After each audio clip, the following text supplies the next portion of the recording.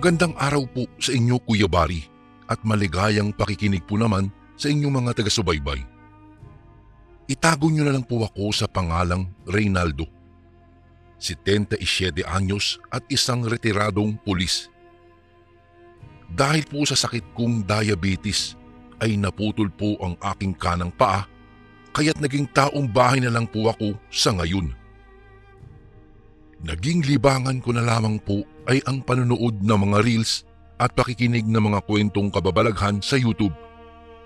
Isa nga po ang channel ninyo sa nagustuhan ko kaya ako nag-subscribe at naging isa sa inyong mga silent listeners.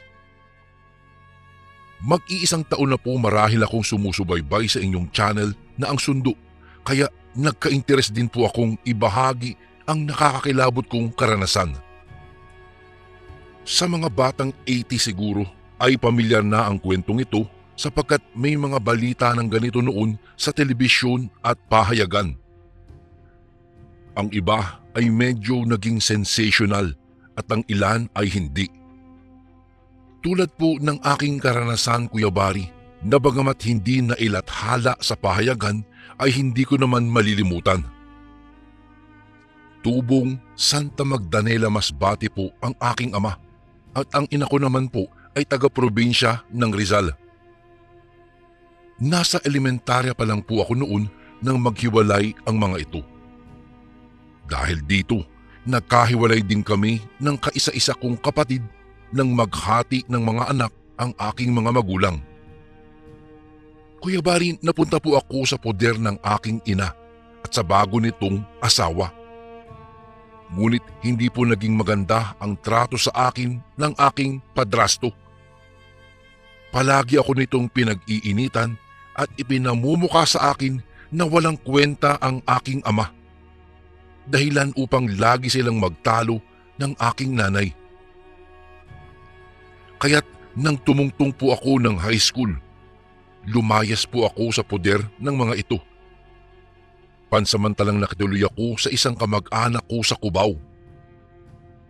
Upang makapag-aral ay nagtrabaho ako bilang isang car wash boy sa umaga at pinboy naman sa isang bolingan sa Quezon City tuwing hapon.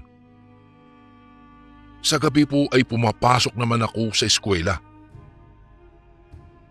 Nang magkolehiyo ako ay nakapasa ako sa isang scholarship noon. Hanggang nakatapos nga po ako ng kursong criminology sa PNPA. Kumuha din ako ng espesyalisasyon sa ballistic at nagkaroon ng ranggong tinyente. Isa na po akong senior inspector nang madistino po ako sa crime laboratory ng isang kampo sa rehiyon ng Southern Luzon ng taong 1982. Hindi na ako nanibago kahit unang destino ko iyon ng probinsya. Sanay naman kasi ako mamuhay mag-isa. Isa pa ay hindi naman ito maituturing na liblib dahil ang kampo po ay nasa kabisera o sentro ng probinsyang iyon. Sa katunayan ay marami na ring mga magagandang pasyalan sa puok na iyon lalong-lalo na kapag kagabi. May mga club, resto bar, hotel at may kaliwat ka ng kainan na rin dito na magandang pasyalan kung mahilig ka sa nightlife, ika nga. Pero ako po ang tipo noon na hindi mahilig mag good time. Kaya po bibihira akong sumama sa aking mga kasamahan sa crime lab para mag nightclub. Ngunit isang hapon ng Sabado, nagyaya ang kasamahan kong junior inspector na uminom sa labas.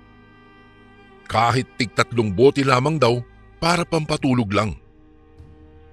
Hindi ako tumanggi dahil nakaramdam din naman ako ng pagkabagot.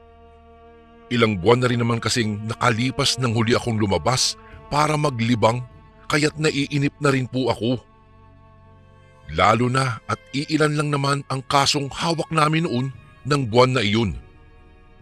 Isang beses lang akong nag-testify sa korte tungkol sa ballistic report ng isang insidente ng barilan sa isang bayan na sakop ng probinsya.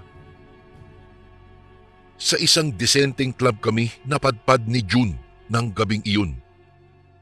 Sa isang mesang pandalawahan sa sulo kami nito pumwesto para hindi pansinin. Dahil magaganda ang musikang tinutugtog ng kanilang banda, ay napasarap kami ni June ng pag-inom.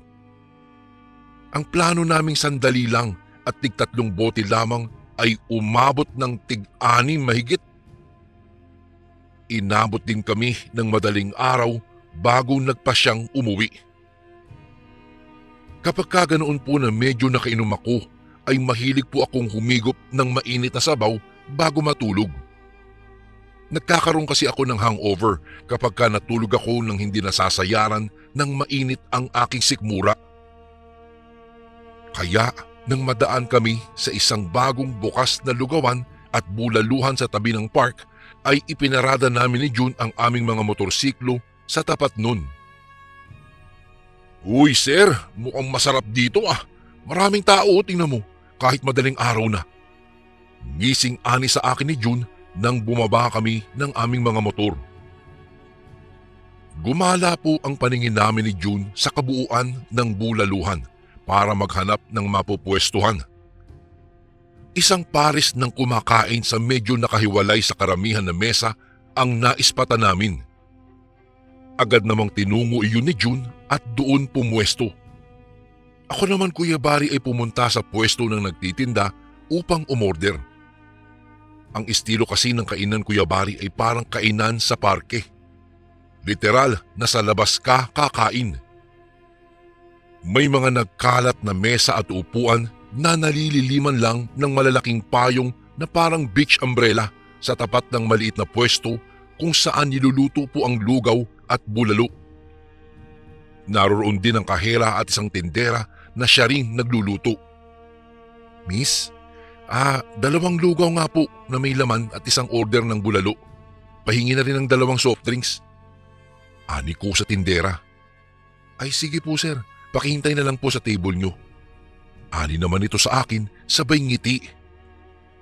Hindi ko mawari naman sa aking sarili kung bakit tila ako kinilig sa simpleng ngiti nito.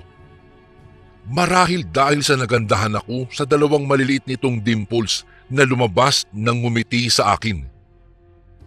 Napahiya pa nga akong nagbawi ng tingin nang mapansin kong nakataas na ang magandang mga kilay nito na nakatingin din sa akin. Dahil po sa hiya ay mabilis tuloy akong napabalik sa pwesto namin ni June. Ang tindera na rin ang nagdala ng order namin sa aming lamesa. Umuusok pa sa init ang bulalo ng ilapag nito iyon. Ngunit tila parang may kakaiba akong naamoy na hindi ko matukoy kung ano. Humahalo kasi ito sa mabangong aroma ng bulalo. Parang masangsang na hindi ko mawari. Hindi ko naman matiyak kung sa inilapag nga nitong pagkain iyon nang gagaling. Luminga-linga muna ako bago ko tinikman ang mga pagkain nakita ko naman na parang wala namang problema sa mga kumakain. Pinakiramdaman ko rin si June na agad naman itong tinikman ng lugaw ngunit hindi naman ito nagreklamo. Una kong tinikman ang sabaw ng bulalo. Ito naman kasi talaga ang habol ko para nga mawala ang kaunti kong kalasingan. Malinamnam naman ito at masarap Ngunit parang may kakaibang tapang ng lasa at amoy sa dulo ng dila eh. Yung ika nga ng iba ay aftertaste sa tuwing hihigop ka. May tila malansa rin itong amoy at kakaibang anggo sa hininga na natatakpan lang ng amoy ng aroma ng mga rikado at pampalasa. Mas masarap kasi yan sir kung lalagyan ng kalamansi at kaunting dahon ng sebulyeno para lalong lumasa at mawala ang anggo. Natatawang ani ni June na napansin ang paglukot ng aking mukha. Bulalo kasi ito ng baka kaya medyo matapang ang amoy kaysa bulalo ng baboy. Duktong pa nito sabay abot sa akin ng kalamansi. Hindi na ako nakipagtalo pa kay June at kinuha dito ang piraso ng hiniwang kalamansi. Hindi ko na sinabi sa kanya na sanay naman ako sa lasa at amoy ng bulalong baka dahil madalas akong kumain po nito lalo noong nasa Cubao pa po ako. Pero kakaiba talaga ang amoy na naaamoy ko sa inorder naming bulalo. Ngunit tama naman si June. Nawala nga ang malansang amoy ng sabaw nang pinigaan ko ito ng kalamansi. Saka ko lang nalasahan ulit ang linamnam at sarap ng mainit nitong sabaw. Sir, palagay ko madadalas tayo dito. Hindi lang yata ang lugaw at bulalo ang masarap dito eh. Gising saad ni June na nakatingin sa tindera. Ikaw talaga June, umiral na naman niyang pagkabohemyo mo. Pagdating sa babae, tala, ewan ko sa iyo, wala kang pinapalampas eh. Ani ko naman dito na walang ka-interes-interes. Oo nga Kuya Bari at may itsura ang tinderang iyon at mahinhin tignan. Ngunit parang iba ang naging dating ng ganda nito para sa akin. Parang biglang-bigla ay naging misteryosa ito. Napansin ko kasi ang tila matiim nitong sulyap sa amin. Ang taglay sana nitong ganda ang aking mga tipo. Yung tipikal sa mga babaeng probinsyana na morena at mahaba ang itim na itim na buhok. Mahubog din naman ang katawan nito. Maamo ang mukha at mahinhin. Ngunit hindi ko mawari kung bakit biglang nawala ang aking interes dito. Ewan ko ba noon Kuya Bari pero parang may nararamdaman akong kakaibang aura sa babaeng iyon. May ganun kasi akong kakayahan Kuya Bari. Nakakaramdam kaagad ako ng negatibong enerhiya kapag ka may kakaiba na sa isang tao. Malakas kasi ang aking kutob o tinatawag ng iba na intuition. Kung kaya't kahit medyo kinilig ako sa ngiti nito kanina at nagagandahan sa dalawang biloy nito sa pisngi ay agad ding naglaho iyon dahil sa kakaibang pakiramdam ko po dito. Hihigop sana akong buli ng sabaw nang muli ko na namang malanghap ang malansang amoy nito. Hindi talaga kaya ng sikmura ko ang matapang na amoy nito. Naisip ko noon na baka ganun lamang iyon dahil lumalamig na ito. Nawalan tuloy ako ng gana dito kaya't lugaw na lamang ang kinain ko. Hindi na rin naman ito nagalaw ni June matapos niyang matikman. Sabi niya hindi daw siya mahilig sa sabaw lalong lalo na sa bulalong baka. Noong matapos na kami ay ako na ang nagpresentang magbayad ng aming kinain dahil si June na ang sumagot ng ininom namin sa club. Nasa kampo na kami ay parang naaamoy ko pa sa aking hininga ang kakaibang lansa at ang gunang sabaw ng bulalo. Hindi ko tuloy mapigilan ang kilabutan dahil parang nasusuka ako. Umaga na tuloy nang makatulog ako dahil pakiramdam ko ay parang hinahalukay ang sikmura ko. Mabuti na lamang at linggo at walang opisina. Ilang araw ring parang bumabalik-balik sa panlasa ko ang hindi kaaya-ayang amoy na natikmang kong sabaw. Kaya't Ilang araw din akong walang ganang kumain tuloy. Labis akong nadala kaya hindi na rin muna ako sumama kay Jun tuwing magyayaya itong kumain sa bulaluhang iyon. Hanggang naging abala na muli ako sa mga gawain sa opisina. Tuwing katapusan kasi ay nagsasubmit ako ng mga ballistic report na hawak namin sa crime lab sa Campo Crame. Kaya nawala rin kalaunan sa isip ko ang tungkol sa naging kakaibang good time naming iyon ni June. Ngunit marahil ay mahigit limang buwan na ang nakaraan mula noon ay nagulat ako sa balita ni June sa akin. Sir, sir, sir, naalala mo ba ba yung magandang tendera dun sa bulaluhan? Chicks ko na ngayon. Dalawang balik ko lang doon eh napabagsak ko agad ang bataan. Nagmamalaking balita nito sa akin. Ha? Anak ng pating ka talaga, Tinyente Agaton. Pati ba naman inosenteng tendera ipinatos mo? May halong biro na ani ko naman dito. Sa mga kasamahan ko kasi Kuya Bari sa opisina ng crime lab ay ito ang naging kabiruan ko kahit may pagkababaero. Tinyente Fulgencio, hindi naman basta-basta tindera lang yun. Yun mismo ang may-ari ng bulaluhan. Isa pa, hindi na inosente yun ho. hiwalay na yun sa asawa niya na taga Sambuanga daw. Eh, ang sabi bigla na lang daw nitong iniwan at sumama sa kabit nito. Kaya walang kahasil-hasil, sir. Pagyayabang pa ni June sa akin. Parang nais kong mainis sa mga sinabi nito. Tila kasi laruan lamang kung ilarawan nito ang mga babae. Isa pa ay parang hindi ito pulis kung umasta at mag-isip. Hindi man lang yata ito nagtanong sa nobya nito kung papaano ito napadpad sa lugar na iyon na lubhang malayo sa Zamboanga. Sir, pero may asawa anak ka na sa Maynila, hindi ba? Problema yan kapag sumabit ka. Pagpapaalala ko rito.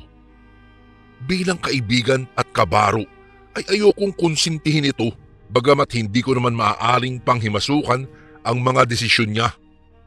Tanging magagawa ko lamang ay magpaalala. Sir, ah, ang anumang bagay na hindi niya alam ay hindi makakasakit sa kanya. Isa pa, hindi ko naman ipagpapalit ang asawa ko sa kahit kaninong babae.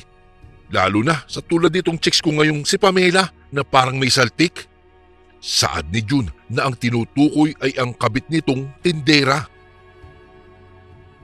Marami daw kasing kakaibang gawi ang babae minsan na hindi ni June nagugustuhan. Ayaw na ayaw daw nitong papuntahin si June sa bahay nito. Kaya sa hotel na lang ang mga ito nagtatagpo.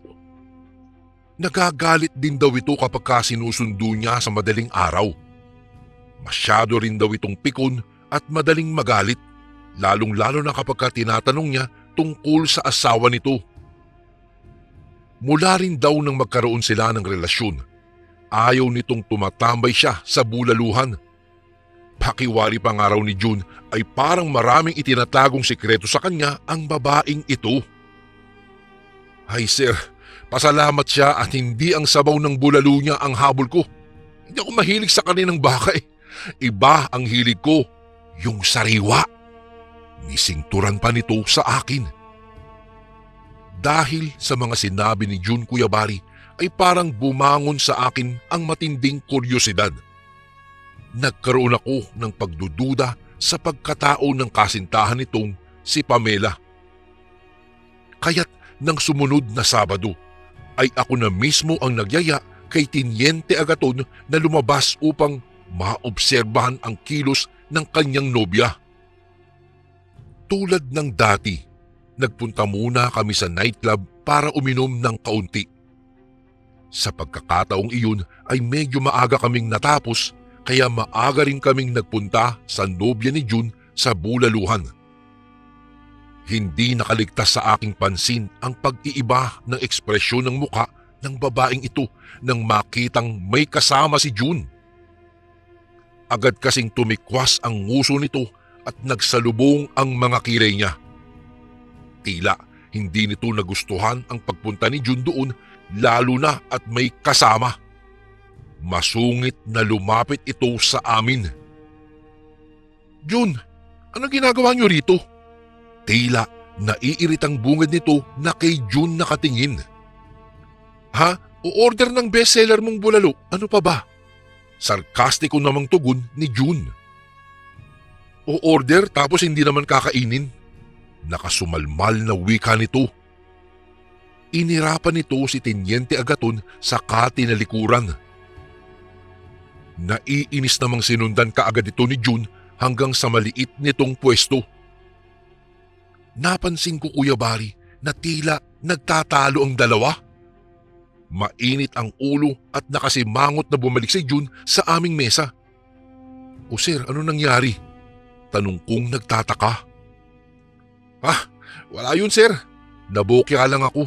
Medyo tinuyo eh. Lunatic yata talaga ang gaga. May saltik kapag kakabilugan ng buwan. Ah, ganyan yan talaga kapag ganitong bilog na naman ang buwan eh.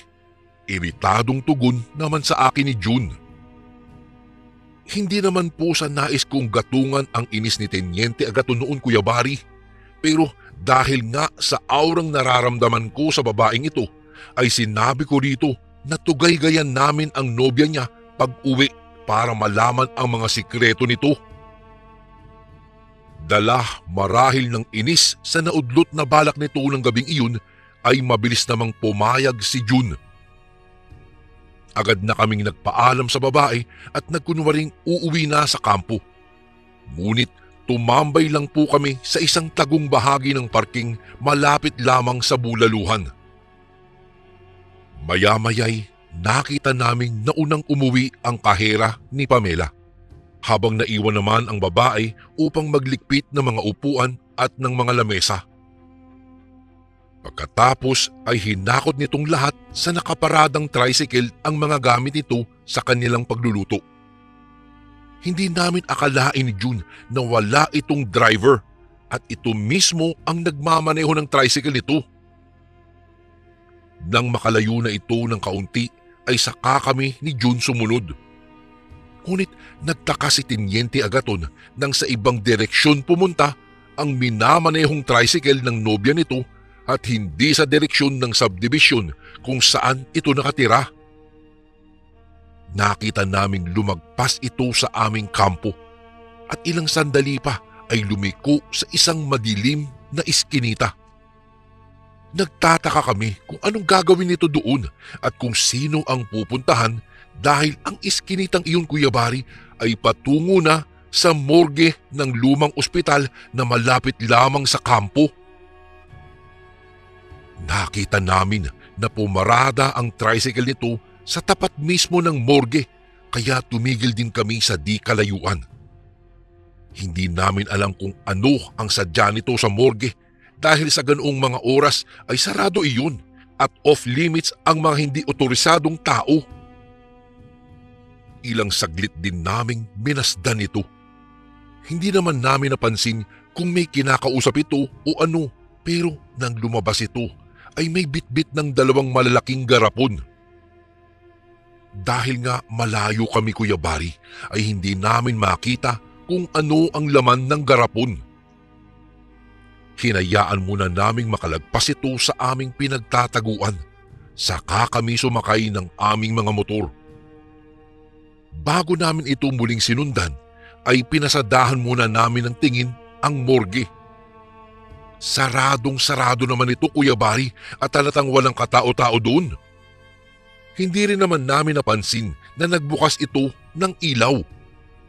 Kaya nagtataka talaga kami kung papaanong nakapasok at nakalabas si Pamela.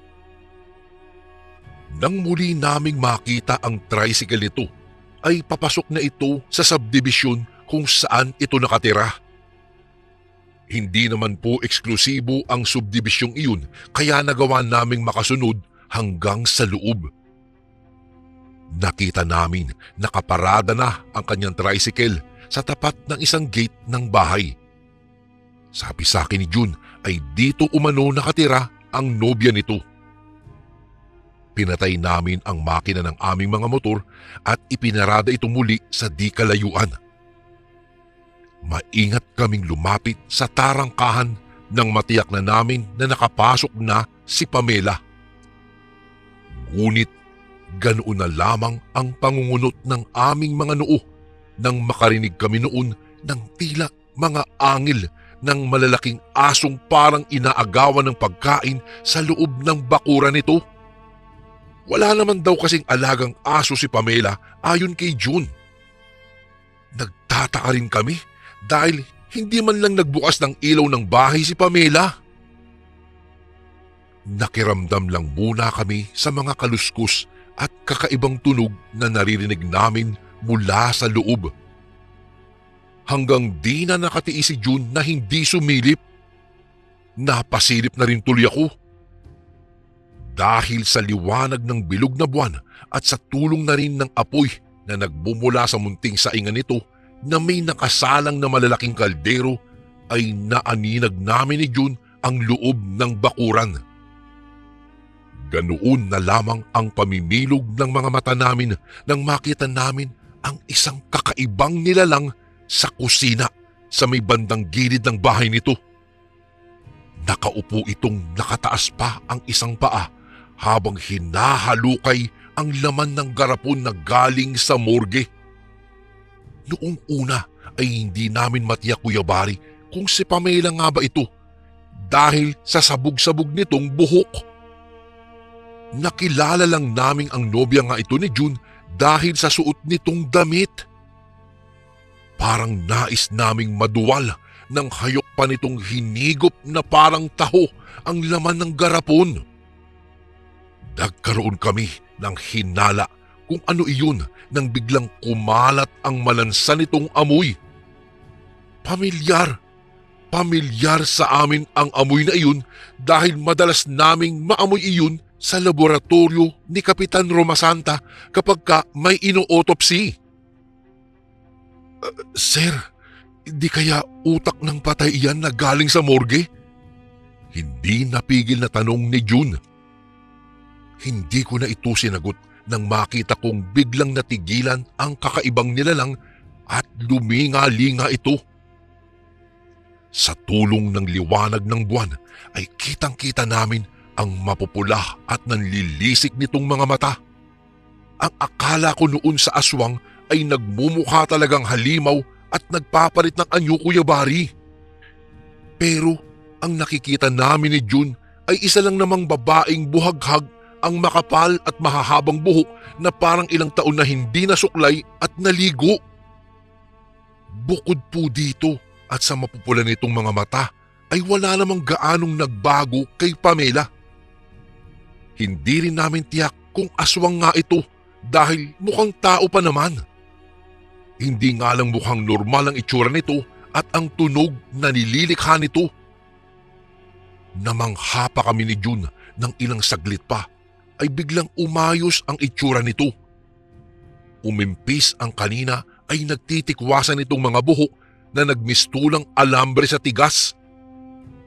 Bumalik ang maamo nitong mukha at magandang itsura. Ngunit pareho kaming napanganga ni June nang makita naming inihalo nito ang natitirang laman ng garapon sa malaking kalderong nakasalang sa kaumusal ng kung ano-anong hindi namin maintindihan. Nakataas pa ang isang kamay nito na parang nagdarasal habang marahas na hinahalo ng isang kamay nitong may hawak ng sandok ang laman ng kaldero. Kitang-kita namin ang ginagawa nito roon dahil walang dingding ang munting saingan nito at nabububungan lamang ito ng nipa. Marahil, doon ito nagluluto ng bulalo at kahoy lang ang gamit na panggatong upang makatipid. Parang gustong bumaliktad ng sikmura namin nang subagi sa amin kung bakit may kakaibang lansa at anggo ang tinda nitong bulalo. Pasalamat na lang talaga na walang dalang baril isa man sa amin dahil bawal magdala nito kapag ka nagpupunta sa bahay aliwan. Kung nagkataon ay baka nabaril namin ang babae ni June dahil sa natuklasan namin. Ganoon pa man ay umiral pa rin ang tamang wisyo namin at disposisyon. Tahimik kaming umalis sa puok na iyon at bumalik na sa kampo. Ngunit kinailangan ko pang uminom ng alak para lamang makatulog dahil parang bumabaliktad pa rin ang aking sikmura tuwing maiisip ko kung ano ang hinahalo ni Pamela sa tinda nitong bulalo. Akala ko yung mga nakikita kong parang nakalutang na taba at sebo ay utak ng buto-buto ng baka. Ngunit hindi pala. Kinabukasan ay agad akong nakipag-coordinate sa probinsyang pinanggalingan ni Pamela. Pinaimbestigahan ko ito at inalam ang kanyang pagkatao. Swerte naman kasing sa investigation doon nakadistino ang isa sa mga classmate ko sa PNPA. Napag-alaman namin ni June na may nakabinbin itong kasong kriminal. Dahil hindi totoong iniwan ito ng asawa kundi ito ang prime suspect sa pagpatay sa asawa nito at pagluto ng iba't ibang parte ng katawan nito. Natagpuan umano ang ilang mga buto at bungo ng asawa nito na nakalibing sa likod ng tinitirhan nito. Agad naman akong nagbigay ng impormasyon sa mga otoridad na humahawak ng kaso ni Pamela sa kanilang probinsya. Sa pakikipagtulungan ng mga pulis sa probinsyang destino ko ay nahuli si Pamela at naibalik sa Zamboanga. Hindi man namin masabi ni Tenyente Agaton ang tungkol sa tunay nitong katauhan ay sapat na sa amin na nasupil namin ang maaaring mga kasamaang magagawa pa nito sa hinaharap. Sapat na sa amin na hindi na nito maipagpapatuloy sa kulungan ang kanyang pagtitinda ng bulalo na may malansang sabaw. Ngunit isa lang ang bumabagabag sa akin magpahanggang ngayon. Siya kaya ay isang tunay na aswang? Kung sa ganun, nakakita na pala ako ng isang tunay na aswang harap-harapan. Kung aswang man siya, ngayon ko palang nalaman na hindi pala lahat ng aswang ay pangit ang hitsura. Mayroon ding parang normal na katulad nating mga tao. Kung kaya't dahil po doon, ako ay nag-iingat na. Hindi natin alam kung nandyan lang sa tabi mo o ang kausap mo sa harapan mo ay isang aswang. Hanggang dito na lang po Kuya Bari ang aking lihim karanasan. Salamat po kung mabasa niyo po ito sa inyong channel. More power po and God bless po sa lahat ng kasundong nakikinig ngayon. Lubos na gumagalang, Reynaldo. And again, maraming maraming salamat po mga kasundo. Don't forget to subscribe and i-click nyo lang po yung bell na button para updated po kayo sa mga upcoming videos namin na paparating. Maraming salamat po ulit. God bless and ingat po lagi dyan. Ito po si Kuya Bari at ako ang sundo.